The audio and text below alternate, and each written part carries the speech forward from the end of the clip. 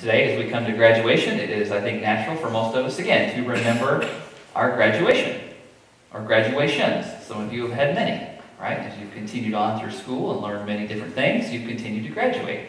Um, so I know as you go to these services and you see the graduates and you know some of the incredible things they have coming for them, right? You are excited for them knowing things in college that are going to be thrilling for them, right? The opportunities they're going to have to meet new friends and learn new things. You know how excited you are for them, right?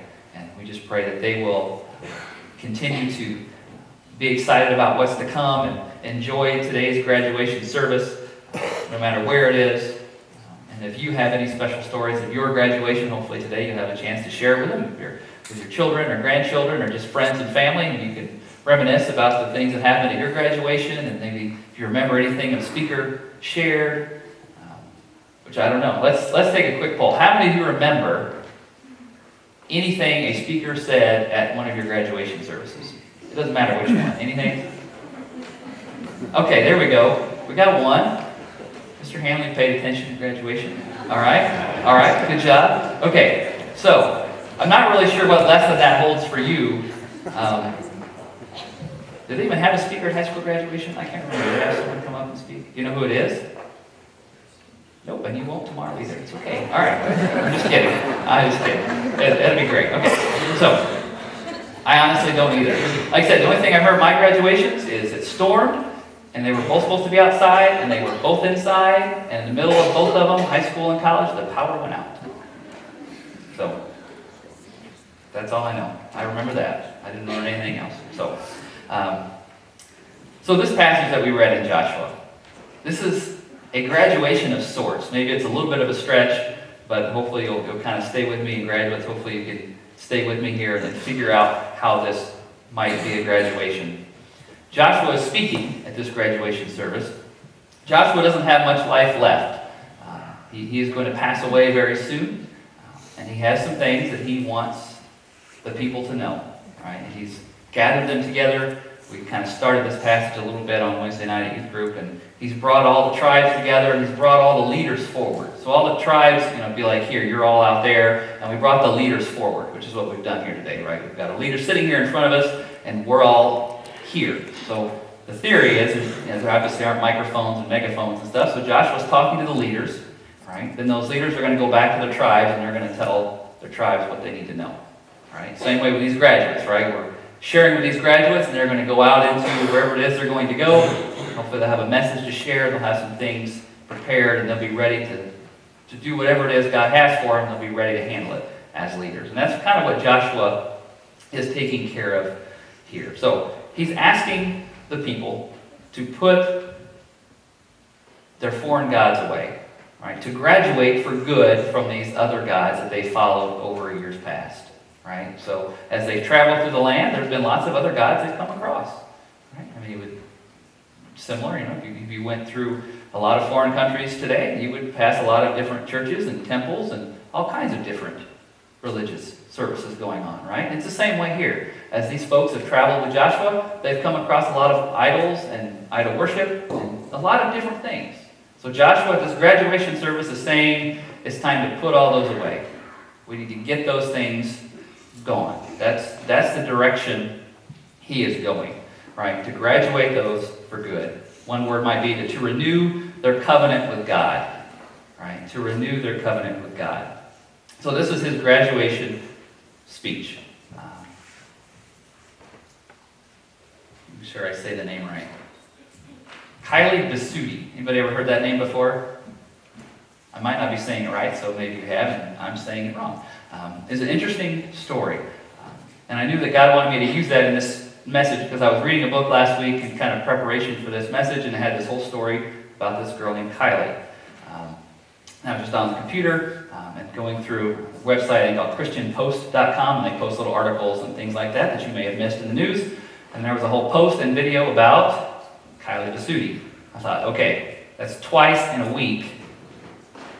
That's not a coincidence. We're going to use that today. Um, and it's her story of putting away these gods.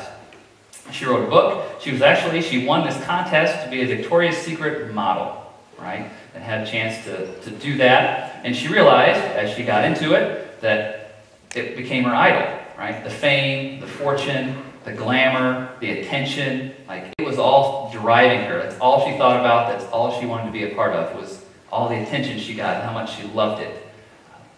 She's a believer, um, and through her Bible study and, and counsel, she realized this isn't the this isn't right. Right? As a Christian woman, I shouldn't do this for one, but two, that was her God. The attention. Was just she realized it was consuming her life, and she had to put it away just quit. Which I don't know how much some of those models make, but I have a feeling it's probably quite a bit quite a, a big uh, stature as far as that goes. And it was it was a tough decision. She wrote a book. Um, I didn't check that out, but I know she wrote a book kind of just detailing the, the trials and the things she went through. But it's a perfect example of putting that God away, of fame and fortune and money and attention and all the things that she thought she wanted she realized this isn't right. I've got to put those gods away. The people that Joshua is speaking to here, guess what? A lot of them think they need these gods as well. They've had them for a long time, right? What's wrong with them? So he's going to try to help them out here. So let's look at his graduation speech. So in verse 14, he told them to fear the Lord and serve him. Right? Now that sounds like an easy statement. Fear the Lord and serve him. But good speech, he tells them what to do, how to do that, right? Put away the gods of your fathers. Okay, and then your lives will change as you leave here. So he's helping them out. If we put those gods away, move on, our lives will be better as we move forward. And Joshua, very specifically speaking, because his life will end soon, and he knows that. He wants them to be prepared. Okay? Continues on in verse 15. Joshua saying, put those away, he says what he's going to do. Right? He states that he will serve the Lord, he and his house. Because there's many idols to chase. Again, we talked about graduation. Some of you may remember some of those idols that you chased graduating after graduating high school. Just the fun of college, the striving for the degree, right, to succeed, to earn more scholarship money, right, to be top in the class, to be the best, whatever it is, activity you're a part of. Right? Those could be idols, right? They consume our life. And if we put everything away and focus just on that, it can consume our life And we pray that the graduates will, will be protected against that and they will see that coming and be prepared to not let that happen. So Joshua is clearly stating he's going to put those idols away. He's asking his people and his leaders, you do it with me. Okay? You do it with me. Let's get rid of them. Okay? The people respond. Joshua says, this is what I want you to do. The people give an answer, right? They strongly support Joshua. This is a good speech, like it's going well. Joshua's like, we're going to put those gods away and we're going to follow one God. And the people are saying, yes, that's what we're going to do. Good job, Joshua. We agree with you. Let's do it. Okay, so this is going well so far. Okay, the people are on board with what Joshua is saying. Right, now, I don't know if they were recognizing, yeah, that's us. Yeah, we do worship too many gods. I don't know. They were totally admitting their fault, but they realize that sounds good. Right? And you may find yourself doing that as well in your new situation at college, classes and things like that. The professor may be teaching something new. You may be hearing it and think, yeah, that sounds good. I like that. Let's do that. Right? You kind of find yourself going along pretty, pretty easily. So they are clearly on board with Joshua. And that was in verse 16, right? It said, The people answered, Far be it from us that we should forsake the Lord to serve other gods. In other words, we won't do that. We're going to follow God just like you are, Joshua. We're on your side. We're with you. Okay? They acknowledge all that God has done. Right? That's a great way to put those idols aside, isn't it, sometimes? To acknowledge all those things that God has done. Remember all the things He's done. Graduates, for you too, as you come to this day, to think of all the things that God has done for you through your life so far. I know it's been a short life, but you guys have had a lot of great things happen so far. Right? To remember that God allowed all those things to happen, right? And thank Him for that. And as you are thanking God, it's sometimes it's kind of hard to put another idol in that place, right? If we're thank, thanking God and loving Him, then that will be at our forefront. So we may find ourselves doing the same thing, um, but they continue on. Joshua speaks again. They say, We're going to follow God. Here's what Joshua says. This is a little bit might catch off guard in verse 19. They say we're going to follow God. He says, You are not able to serve the Lord, for he is a holy God, he is a jealous God. Right? The people just said, Yes, Joshua, we're following you. We're going to follow God. We're going to do it. And the next words he says is, You aren't able to do it. Now, how is that for an encouraging graduation speech? Here's what I want you to do. Are you on board? Yes. Good luck. You won't be able to do it. That's terrible. like, why did you just tell me that's what I need to do if I can't do it? Right? And Joshua was just trying to warn them. Right? Following God is hard. Most of you in this place, you know that already. Right? There are ups and there are downs. Right? There are times where you may really doubt what's going on. There may be times where you're really excited and all into it, like this is great. Following God is easy right now. And there are times where it's really hard and you're not sure you want to do it anymore.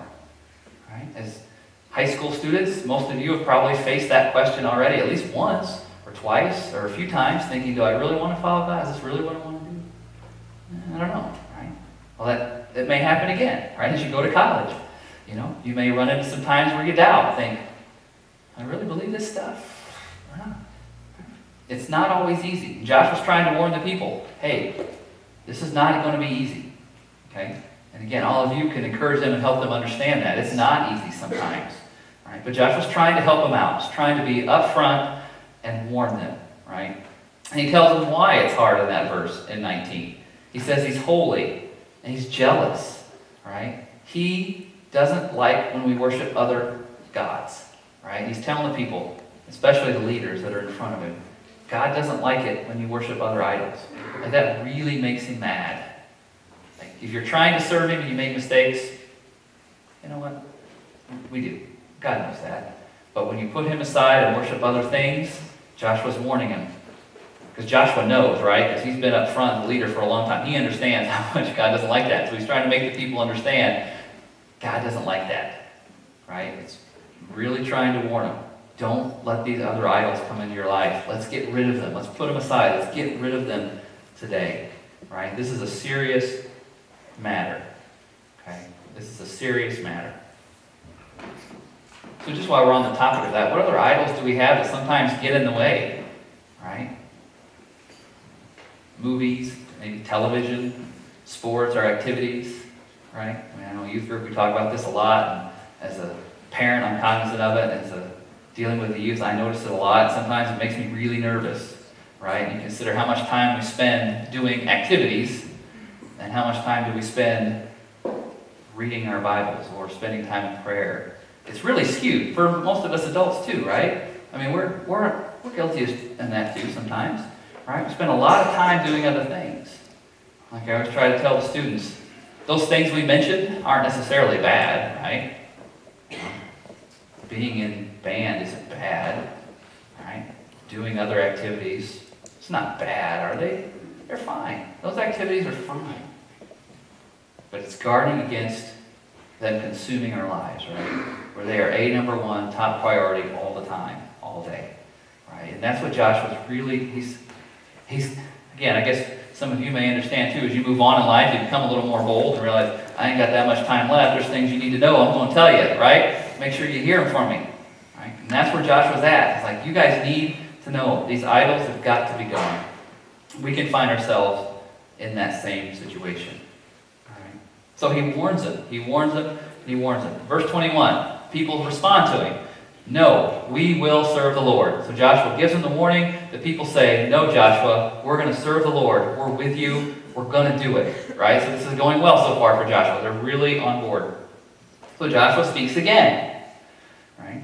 Again, here's what he says in 22. You are witnesses against yourself that you have chosen the Lord to serve him. And they said, We are witnesses. Basically, here, he's challenging them to hold each other accountable. He's challenging them to hold each other accountable. As friends that you have here and in other places, you know, we have college students scattered around here that have gone on to college and are home for the summer. You can hold each other accountable. Right? You know, you can ask, how, how is it going at church, wherever you're at college? You know, what are you learning in chapel? Or what are you learning in Bible study? Whatever it is, right? You can hold each other accountable. Because if I ask, how was church on Sunday? That's a pretty direct question. Like, it's hard to get out of that one. Well, uh, well, let's, okay, let me answer it. So, you know, so you can hold each other accountable, right? You can help do that. And that's what Joshua's saying to the people. You are witnesses for yourselves that you're going to do this. You're sitting here saying we're going to put these gods away, then do it and help each other do it, right? Because we know everything's, a lot of times it's a whole lot easier to accomplish our tasks if we work together, help each other out, right? So that's what Joshua's saying. Help each other out. If you're sitting here saying we're going to get rid of those idols, when you get back to your tent, get rid of the idols. get rid of them. You just said you're going to do it, go do it. Right? Hold each other accountable. Right? In verse 23, he says it again. Then put away the foreign gods that are among you. Put them away. And really what he's saying is get rid of them. Okay? Get rid of them. All right? Don't leave the little trinket sitting, oh, we won't worship anymore. We're just going to put it, you know, right here. Oh, hey. Check. We were looking for this earlier. Side note, you know why it's up here? Because I put it here last Sunday. Because I did Fred's reading and I turned this. All right. That's totally irrelevant, but we were looking for it earlier. There it is. But anyway, I know what I was saying. So I put the idol away. I still had it, right? I didn't really get rid of it. I didn't really put it away. I just moved it. Right? Josh was saying, get rid of it. Get rid of it. Get rid of it. Right? Get it gone. Don't, don't walk in the tent and see it. Or you're cleaning up like, oh, there's that idol. No. Disappear. Disappear. Okay? It's a firm choice. One commentary read said it this way. It said a firm choice that that generation made and that this generation must choose as well. I think that's a neat way to put it. It's a firm choice that that generation made and that this generation must choose as well. And we can ask these graduates to do this all we want, right? And it's, it's, it's easy to say, hey, focus on God, put away those idols, stay strong. I mean, we can say that. We can all tell them, right? But the real challenge, I think, comes when it comes to the adults. You guys that are here behind all of them today and above them up there, right? You're the perfect example for them, what it comes down to, right? You know as well as I do that our students will model you, they will model us, right? They will do what we do, they will say what we say. You've seen all that. You've, you've raised them, you've been around them, you understand how that works.